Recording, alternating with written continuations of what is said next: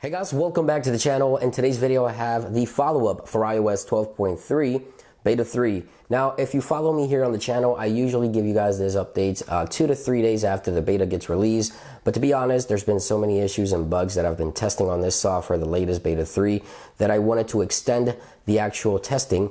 And uh, there's a lot, a lot to talk about that I want to share with you guys. Starting with some of the features missing. If you didn't catch my initial coverage for iOS 12.3, under the reduced motion tabs and settings, the autoplay video uh, preview uh, has been completely removed. This option has been completely removed. So if you go to settings, we go to general, we go to accessibilities, and then we go to the reduce motion here. You see that this option no longer appears in this particular category here. So that has been removed in case you missed my initial coverage. Now I want to talk about some of the known issues and some of the issues I've come across myself. Apple has acknowledged that you cannot update to iOS 12.3 beta 3 unless you were running beta 2. Okay, so if you're coming from a public release or from beta 1, you won't be able to install this version. So hopefully Apple will fix that in the upcoming iOS 12.3 beta 4, which by the way, hopefully Apple will go back to a one week release cycle for iOS betas.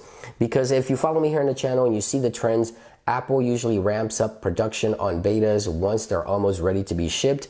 So beta 1 and beta 2 usually have two weeks in between the release dates. Same thing from beta 2 to beta 3. But from beta 3, for the most part, to beta 4, which is what I'm anticipating today, uh, there could be a one week release cycle. So Apple could be releasing Beta 4 for iOS 12.3 as early as today, Monday the 29th, if you're watching this video today. So let's keep our fingers crossed because there's a lot that I want to share with you guys about this software that I've been having issues with. Now, some of you guys on Twitter have been sharing new stickers available under the activities. I haven't seen these myself, but a lot of you guys have been reporting this. So take a look here at the music icon. You see there, it's glitching out. Take a look here at the news. It'll glitch out. Take a look at the notes. It'll constantly be doing this in the background and it's cleaning applications in the background. It's what it's doing. So let me go ahead here and roll this clip backwards. You can see right there, it says cleaning. Take a look at the news icon.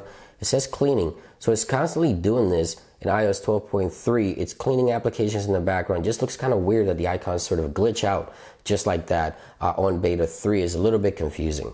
Now, one thing I can say about iOS 12.3 uh, beta 3 is that the battery has been great. It's the only thing that I can say has been great anywhere from 7 to 8 to 9 hours of battery life of on screen time with this software. Now, a very strange bug I want to share with you guys was with the phone calling on the Apple Watch and the iPhone. So, when you make a phone call, for those of you that don't own an Apple Watch, you make a phone call on your iPhone, it'll start calling, of course, and on your Apple Watch, you'll get this icon here where you can tap and it'll take you straight to the phone call that's on progress, right? So you see the icon there on top of the screen that tells you a phone call is happening. Well, I hung up, I turned off the phone call, disconnected, took my Apple Watch off. I was going to take a shower. When I came back from taking a shower, put the Apple Watch back on, the icon was still on the top of the screen. There was no phone call going on the iPhone and uh, it was still going. So it was kind of creepy. I can't get it to reproduce that again, but uh, I was actually using AirPods uh, to talk at that moment, and I had my Apple Watch on. Uh, but when I hung up and I went to take a shower and came back and put the Apple Watch back on, it was still rolling. The call was still rolling on the Apple Watch, but not on the iPhone. There was no signs on the iPhone that the call was still going. That was kind of creepy. Now it is unfortunate because Apple, instead of going from okay, good, great, it's going backwards, right? And I know it is beta software. Beta software tends to have bugs and issues, but it should be going from okay to great, not from great to okay, right? Not backwards.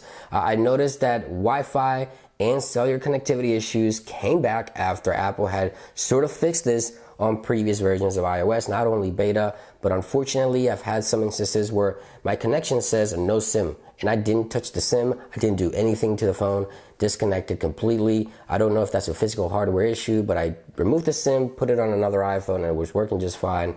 Uh, network connections drop, Wi Fi issues once again. It's been really, really bad actually. And if I turn on airplane mode, the iPhone will freeze. Let me show you. I can't do anything.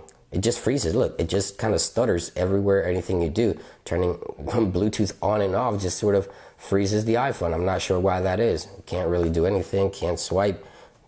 Why? I'm not sure. Look, it just even crashed on me there. So it's kind of weird that this is happening. Uh, I'm not sure why that is either, but um, iOS 12.3 has just treated me really, really bad. The only great thing I can say is battery, but performance has been really bad. So hopefully today we'll see iOS 12.3 beta 4 to address the issue where some users can't update to the beta.